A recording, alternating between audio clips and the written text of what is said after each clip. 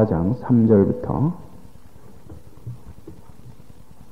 9절 말씀까지 봉독을 합니다.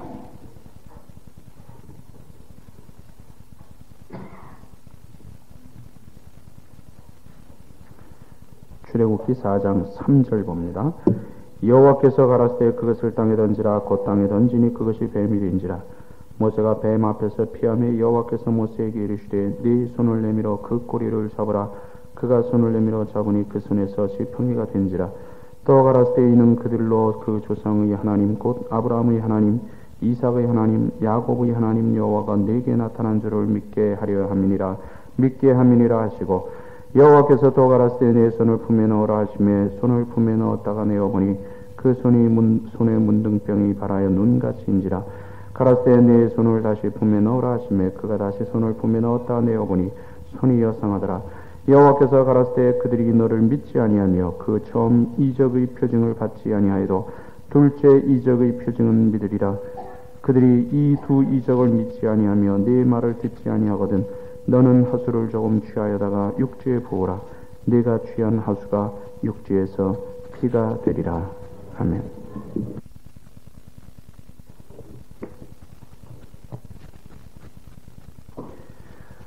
오래전에 책에서 읽은 내용 하나를 소개해 드립니다. 어떤 선교사님이 아프리카 어느 지역 부족에게 복음을 전하기 위하여 들어가셨습니다. 물론 나중에 한 일이지만 그 부족에는 한 가지 전통이 있었습니다. 모르는 사람이 찾아오면 자기 부족 외의 다른 사람, 모르는 사람이 찾아오면 아, 이 사람이 선한 사람인지 악한 사람인지 우리가 가까이 할 수 있는 사람인지 가까이 해서는 안 될 사람인지를 알아보기 위해서 아, 물을 한 사발을 준다고 합니다. 그런데 그 물은 아, 우리가 그냥 먹을 수 있는 물이 아니라 그 물에다 독을 타가지고 독약을 타서 이제 그 주고 그 물을 마시고 죽으면 아, 이 사람은 악한 사람이다. 우리가 가까이에서는 안 될 사람이기 때문에 우리 신이 우리를 우리 부족을 보호하시기 위해서 아, 이렇게 하셨다. 이렇게 말을 하고 그 물을 마셨는데도 아무런 이상이 없어서 죽지 아니하면 아, 이 사람은 우리가 사교도 가까이 해도 될 선한 사람이구나 하고 그 사람을 받아들인다고 합니다.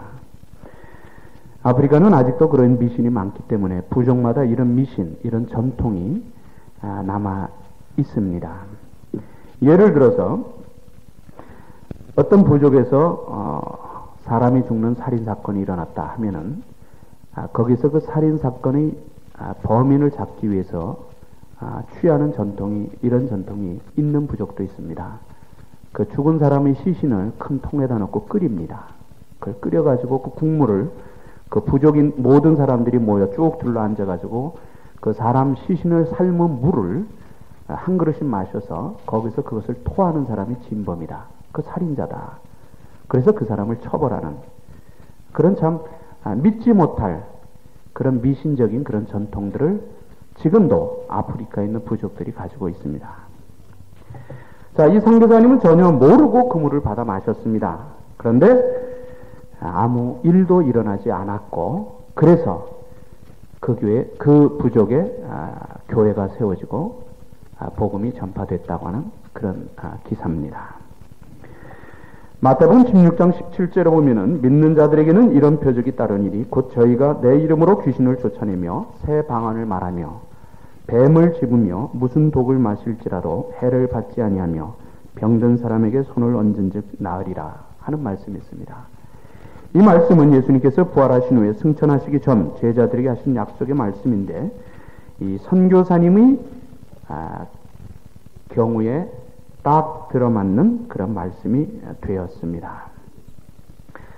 이 선교사님은 그 사실을 전혀 모르고 그 부족에게 그런 전통이 있다는 사실조차도 모르고 그 물을 아, 친절히 베풀어 주는 물인 줄 알고 받아 마셨지만 하나님께서는 그곳에 복음을 전해야 된다고 하는 그 열망 때문에 기적을 베푸셔서 이 선교사님이 무사하게 해주셨고 또 그런 사건을 통해서 아, 그것에 교회가 세워지고 복음이 전파됐다고 하는 말입니다.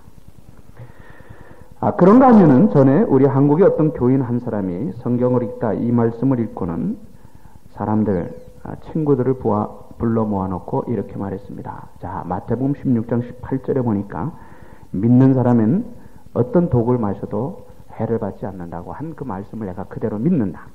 그래서 내가 이제 독, 독약을 마실 터인데 독약을 마셔도 죽지 않을 것이며 혹시 죽더라도 내가 3일 후에 다시 살아날 것이다. 이렇게 큰 소리를 치고 그 독약을 마셨는데 아, 불행하게도 며칠 후에 장례를 치르고 말았습니다.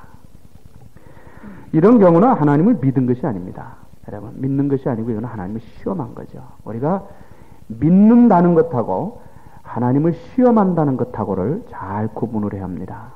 정말 주의 일을 위해서 복음을 위해서 하나님의 사명을 위해서 이 선교사님처럼 전혀 모르는 상황 가운데 처해 있을 때는 하나님께서 기적의 손을 베풀어 함께 하시지만 이런 경우 이 나중에 이 한국의 어느 성도 같은 경우는 이것은 아, 믿음에 의한 것이 아니라 자기 과시 내지 영웅심에 의해서 되어진 것이기 때문에 하나님께서 그런 경우에는 전혀 기적의 손을 베풀지 않으신다고 하는 말입니다.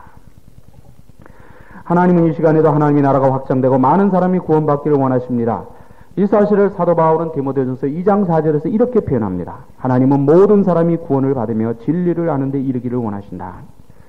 이 일을 위해서 모든 사람이 구원을 받기를 원하는 그 하나님의 마음 때문에 하나님은 우리 사람을 택하여 부르셔서 그에게 권위와 권능을 주시면서 이 사역을 감당하게 하신다는 말입니다. 그래서 지금도 필요한 경우에는 하나님께서 기적을 베푸셔서 하나님의 살아계심을 직접 보여주고 계십니다. 복음이 이미 들어간 지역에는 주로 말씀이 신앙의 기준이 되기 때문에 하나님의 기적의 역사가 그렇게 우리가 기대했던 것만큼 많이 나타나지는 않습니다만은 이제 복음이 막 들어가기 시작하는 선교지에서는 그런 지역에서는 하나님이 살아 계심을 우리가 볼 수 있는 그런 기적의 역사가 지금도 일어나고 있다는 사실을 우리 먼저 생각을 해야 합니다.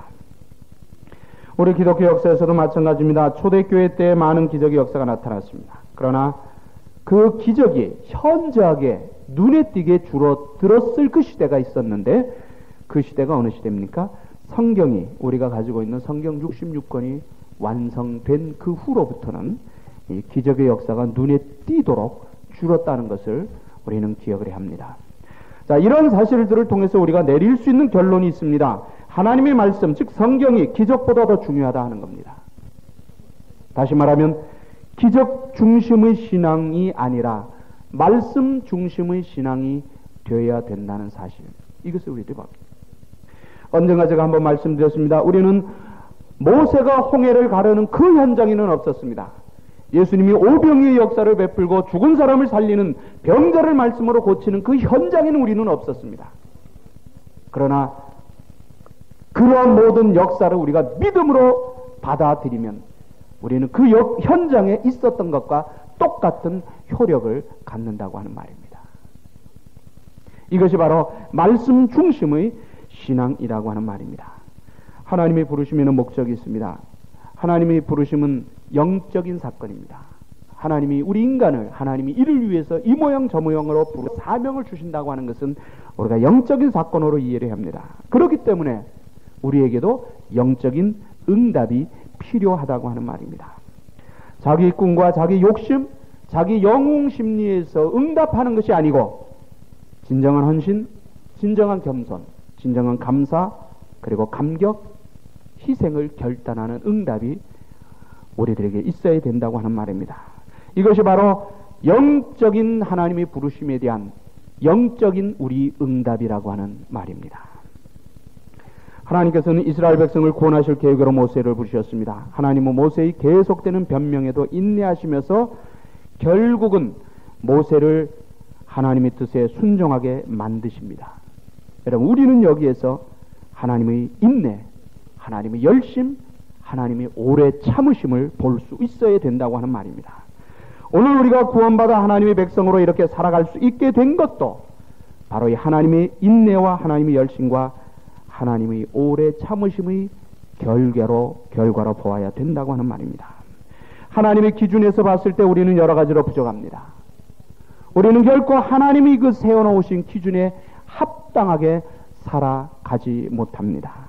그런데도 우리가 이런 모습으로 살아갈 수 있게 된 것도 있는 것도 바로 하나님의 인내와 열심과 오래 참으심 때문이다 하는 사실을 우리는 기억을 해야 합니다. 하나님의 명령을 계속 피하는 모세에게 좀 더 구체적인 기적을 보여주시면서 하나님이 모세를 결국은 순종하게 만드셨다고 하는 것이 오늘 본문의 내용입니다. 오늘 본문 속에는 하나님께서 보여주신 말씀하신 세 가지 기적이 거기 나오는데 이 기적을 살펴보면서 아, 우리가 교훈을 함께 나누도록 하겠습니다. 첫 번째 기적이 3절 4절에 나옵니다. 여호와께서 가라사대 그것을 땅에 던지라 곧 땅에 던지니 그것이 뱀이 된지라 모세가 뱀 앞에서 피하며 여호와께서 모세에게 이르시되 내 손을 내밀어 그 꼬리를 잡으라 그가 손을 내밀어 잡으니 그 손에서 지팡이가 된지라 하는 말씀. 모세의 말은 지팡이가 뱀이 되었다가 다시 지팡이가 되는 기적입니다. 뱀이라고 하는 것 창세기 3장에 보면은 사단이 인간을 타락시킬 때 사용한 도구로 나옵니다. 성경에 뱀이라고 하는 단어가 한 70번 정도가 나오는데 그 중에서 50번 정도는 50번 정도는 악을 상징할 때, 악을 비유할 때 사용되어지고 있습니다. 대부분의 민족들은 뱀을 저주의 상징으로 믿고 있는데 비해 어떤 민족들은 뱀을 자기들의 신호로 섬기기도 합니다. 이 지구상에도 오늘도 뱀을 신호로 섬기는 그런 민족들, 나라들이 있음을 우리들이 보게 됩니다. 모세 당시 애굽은 그럼 어떻게 했느냐? 모세 당시 애굽도 뱀을 신호로 섬기고 있었던 나라입니다. 애굽의 그 무서운 코프라를 신호로 섬겼는데 그 애굽의 그 왕들은 자기 권력의 상징으로서 금으로 만든 뱀의 형상을 왕관에 달고 그 왕관을 쓰고 있었다고 하는 그런 것들을 우리들이 보게 됩니다. 자, 여기서 하나님이 그 뱀을 말씀하신 뱀의 기적을 보여주신 것, 그 뱀은 애굽을 말한다고 우리가 볼 수 있습니다. 다시 말하면 애굽은 사탄의 상징이었다. 하나님의 백성을 받게 하던 애굽을 사탄으로 보시고 그 애굽을 심판하시겠다고 하는 하나님의 뜻이 담겨져 있는 기적이 바로 이 첫 번째 기적이라고 하는 말입니다. 오늘도 하나님의 백성들이 핍박당하고 교회가 핍박을 당하고 있는데 그 이유는 아직도 이 세상에 사단이 활동하고 있기 때문입니다. 사탄이 이 세상을 활동하고 있는 한 교회와 하나님의 백성들이 핍박당하는 일은 계속될 것이라고 하는 말입니다. 주님 오시는 그날까지 이것이 계속될 것입니다. 하나님의 백성과 교회를 핍박하고 괴롭히는 모든 행위, 그 모든 행위는 하나님께서는 사탄의 행위로 간주하신다고 하는 사실을 우리는 기억을 해야 합니다. 결국 뱀과 같이 간교하고 포악한 애굽도 하나님 앞에서는 모세의 말은 지팡이 정도밖에 되지 않으며 하나님은 이런 애굽을 모세를 통해 심판하시고 하나님의 백성을 구하시겠다고 하는 그 하나님의 마음이 그 첫 번째 기적 속에 담겨져 있습니다. 베드로전서 5장 8절에 보면 이런 말씀이 있습니다. 사탄은 우는 사자와 같이 삼킬 자를 찾기 위해 이 세상을 돌아다닌다고 합니다. 그러나 요한일서 4장 4절에 보면은 또 이런 말씀이 있습니다. 우리와 함께 계시는 분은 사단보다 크시고 능력이 많으신 하나님이시기 때문에 로마서 8장 37절 우리는 넉넉히 이길 수 있다. 이렇게 말합니다. 자, 가까운 우리 반쪽 북한을 포함해서 아직도 많은 지역의 그리스도인들과 교회들이 핍박을 당하고 있지만 결국은 하나님의 백성들과 교회는 승리하게 되어 있다고 하는 것. 이것이 하나님의 계획입니다. 왜 그렇습니까? 계시록 1장 20절에 보면 우리 주님께서 핏값으로 세우신 교회와 성도들을 지금도 붙들고 계시기 때문입니다. 전투에서는 우리가 한두 번 질 수가 있습니다.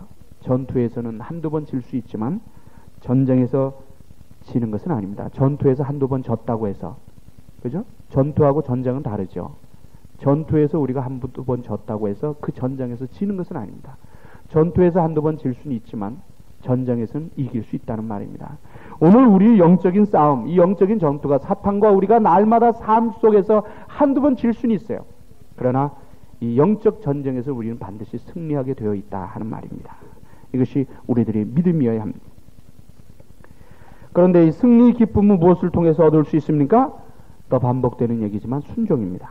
던져라 던지니 뱀이 된지라 잡으라 잡으니 지팡이가 된지라 이런 기적 체험의 비결은 간단합니다. 순종이라고 하는 순종이라고 하는 그 간단한 방법을 통해서 우리는 하나님이 그 놀라운 기적의 역사를 체험할 수 있다고 하는 말입니다.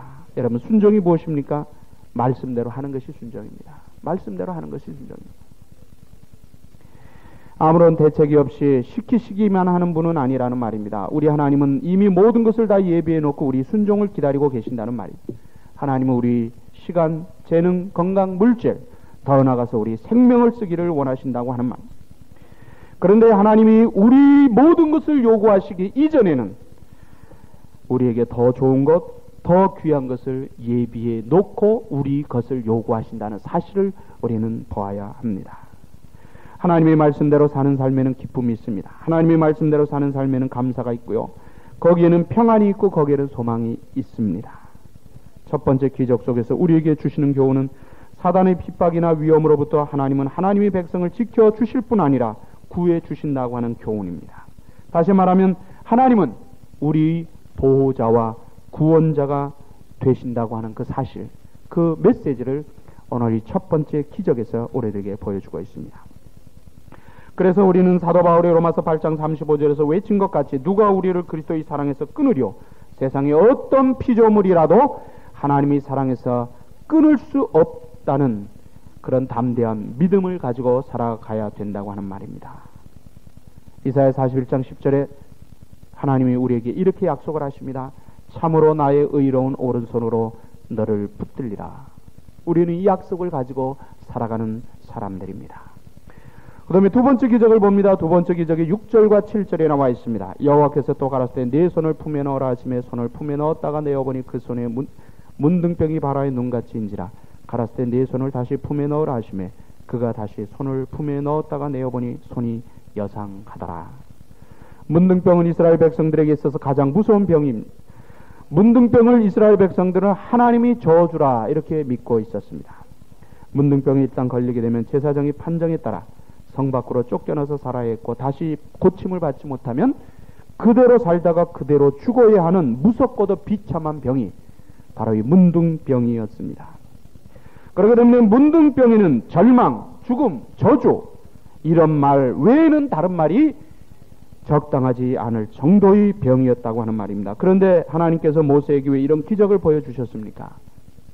지금 이스라엘 백성들 애굽의 바로 밑에서 고난을 당하는 이스라엘 백성들의 모습이 문둥병자와 같이 절망적인 절망적인 삶이라고 하는 것을 보여주시기 위해서입니다. 노예와 같이 비참한 삶을 살던 이스라엘 민족이었습니다. 애굽의 힘이 너무 강했기 때문에 이스라엘 백성들 스스로는 그 애굽의 사슬을 끊을 수가 없었다고 하는 거예요. 하나님께서 간섭하시지 않으시면 그 애굽으로부터 해방될 수 있는 그 가능성이 전혀 없었던 그런 절망적인 삶을 살던 그들이 바로 이스라엘 백성들의 모습이었습니다. 그렇기 때문에 이스라엘 백성들을 이스라엘 백성들이 할 수 있는 말이 있었다면 절망, 저주, 죽음이라고 하는 말 외에는 없었을 것입니다. 자, 그러나 그 전에 이스라엘 백성은 어떤 민족이었습니까? 창세기 12장으로 거슬러 올라가면 하나님께서는 아브라함에게 그 후손을 통해서 큰 민족을 이루게 하시고 그리고 세상 모든 민족이 아브라함의 후손을 통해서 복을 받게 하시겠다고 약속하신 민족입니다. 선택된 민족이었습니다.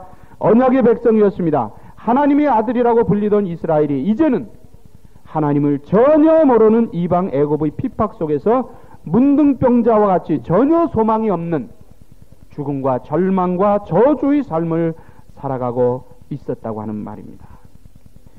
이런 이스라엘 민족을 다시 처음의 약속대로 회복, 회복시켜 주시겠다고 하는 그 하나님의 메시지가 그 두 번째 기적 속에 들어 있습니다. 하나님의 능력 앞에 문둥병 아무것도 아닙니다. 그러면 이 기적의 교훈대로 우리 모습을 한번 살펴보죠. 여기에 대해서 우리가 바울의 고백을 한번 들어볼 필요가 있습니다.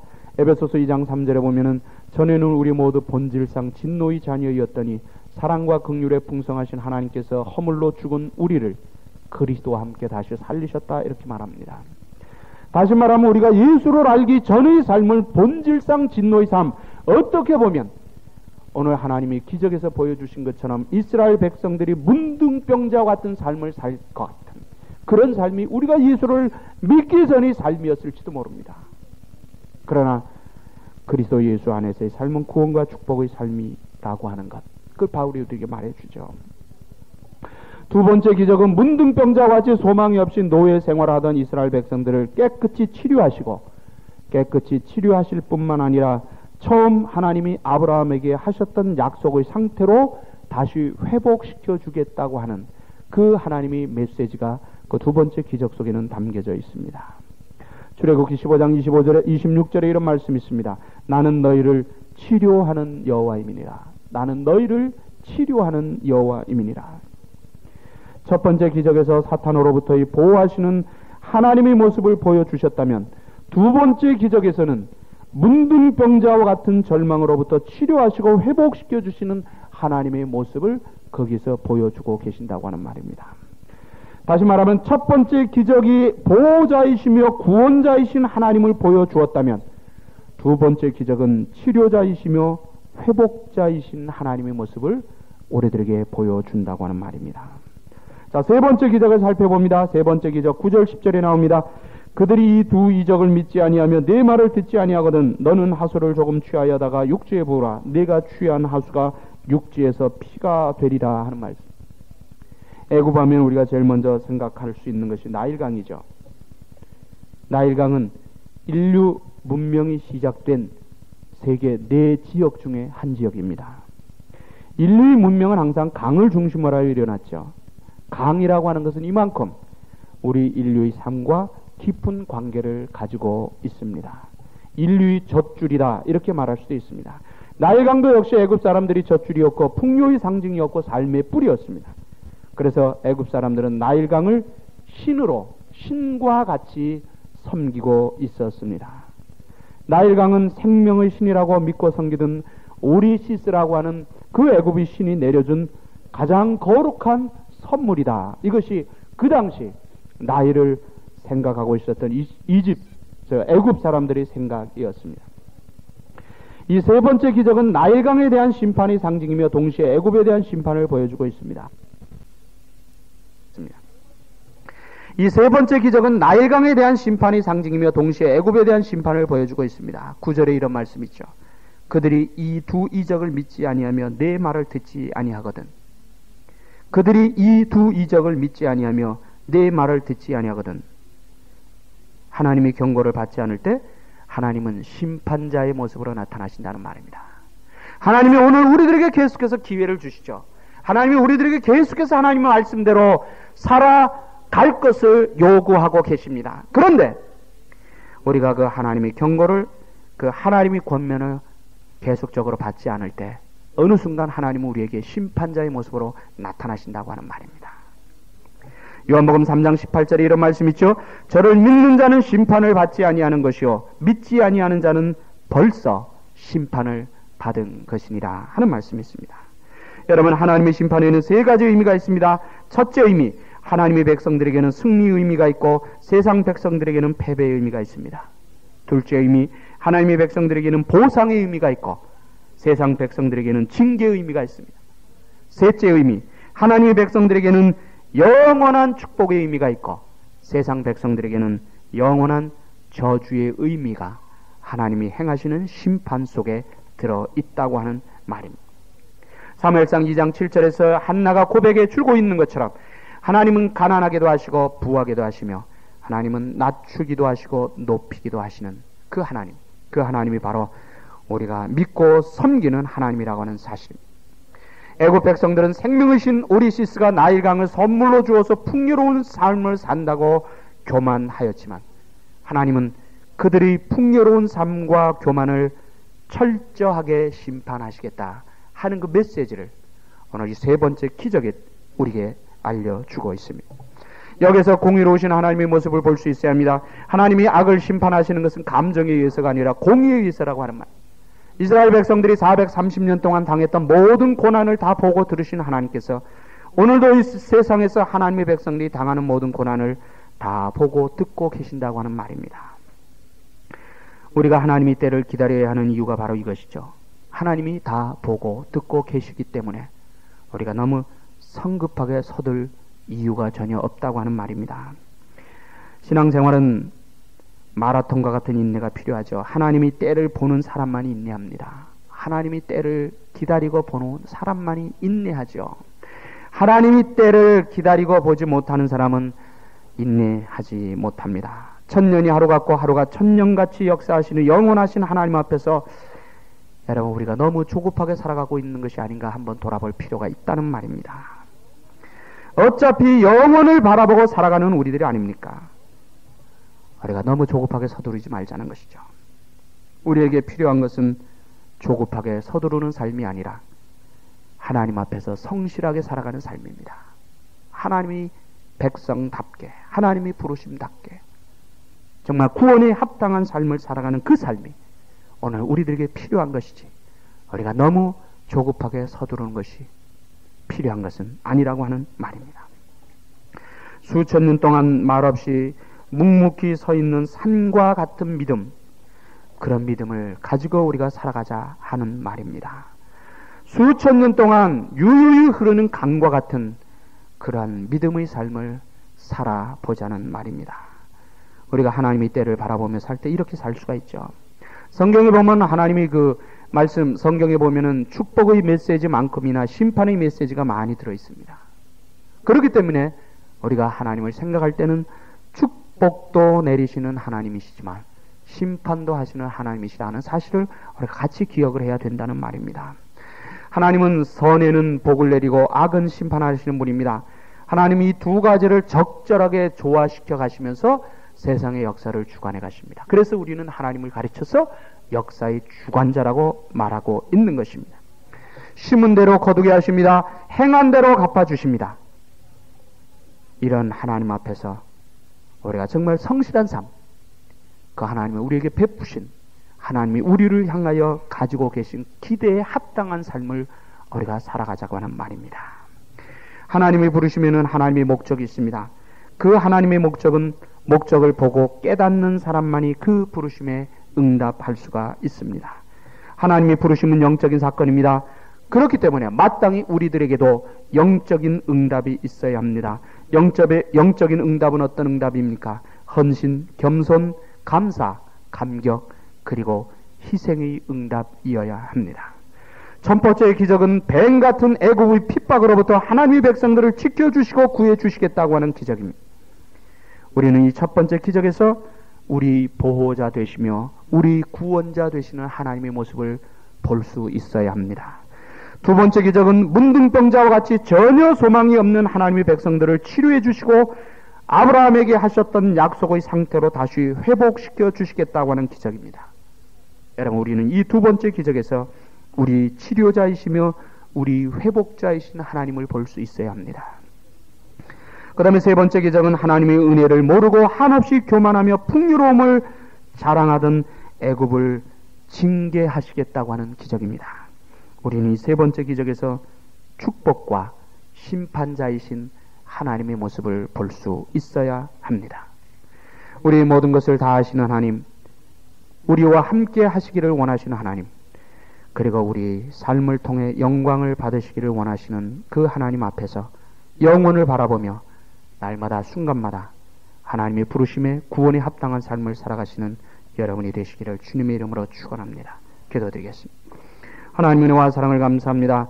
오늘도 저희들을 불러주시고 우리 하나님께서 옛날 그 호랩산에서 모세에게 보여주셨던 그 기적 속에 들어있는 교훈을 함께 나누었습니다. 하나님께서는 모든 사탄의 그 악으로부터 우리를 보호하시고 우리 영원자, 영원한 구원자가 되신 것을 우리들이 보았습니다. 정말 우리들은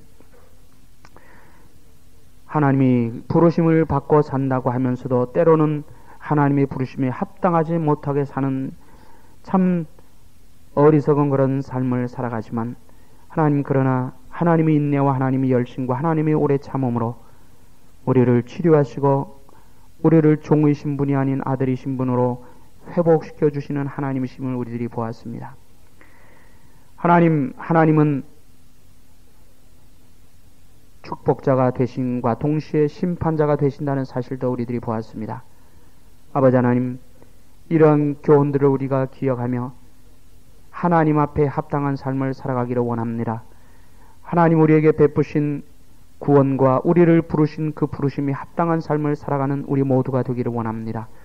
하나님 그래서 우리가 이제 조만간에 하나님 앞에 서게 될 터인데 하나님 그때 우리가 부끄러움을 당하지 않는 귀한 하나님이 백성들 우리 믿음의 백성들이 다 될 수 있도록 늘 붙들어 인도하여 주옵소서 예수님의 귀하신 이름으로 기도드리옵나이다. 아멘.